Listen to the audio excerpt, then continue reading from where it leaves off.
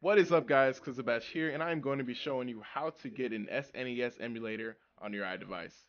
Now this works on iOS 8, I don't know about iOS 7, I'll try it out later and tell you guys, but here we go.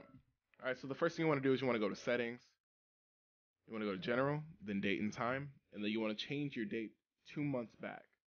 So turn off set automatically, it's October 6th today, so I'm just going to put it on October 25th. Still works. All right, then you want to go back. And then you want to go to this website. You want to go to Safari. Type in I E M U L A T O R S dot com. So iemulators.com. Then you're going to be brought to this page. And you want to click on Apps tab. And then you want to scroll down until you see SIOS. And then you want to click Install. Now right here is the reason why we had to set the date back because if you don't, then it's going to it's not going to install. So you want to click install again, and then you want to go to your home screen. It's going to install real quick. Then you want to open it, click trust, and then now you need ROM. So here's the settings in here. We'll mess around with that later. So now we can go back to Safari. Close that out.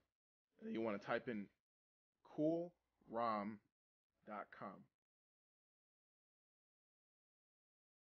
That's going to bring you to this page. Now you want to go to ROM search, and then let's search uh, Super Mario World. Now there's many Super Mario Worlds, so you want to click the one that says Super Nintendo right there. Then you want to scroll to the third one. And then you want to scroll down until you see download now. and then you want to click open in SIOS. And the game is instantly downloaded like that. Now we're going to launch it after I look through this. Okay, it's fine. Launch it up. Alright guys, so I am back.